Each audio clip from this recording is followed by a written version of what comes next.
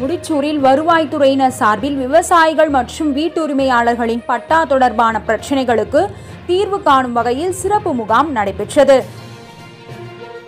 செங்கல்பட்டு மாவட்டம் முடிச்சூர் ஊராட்சி மன்ற அலுவலகத்தில் தாம்பரம் வருவாய்த்துறை சார்பில் சிறப்பு முகாம் ஏற்பாடு செய்யப்பட்டது. இதில் விவசாயிகள் மற்றும் வீட்டு உரிமையாளர்களின் பட்டா தொடர்பான பிரச்சினைகளுக்கு தீர்வு காணும் வகையில் ஏற்பாடு செய்யப்பட்டது.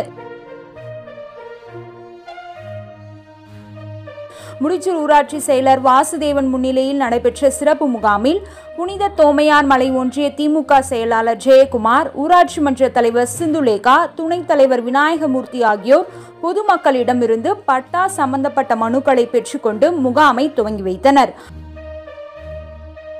முகாமில் பெறப்பட்ட மனுக்களுக்கு அதிகாரிகள் மூலம் உடனடியாக தீர்வு காணப்பட்டது.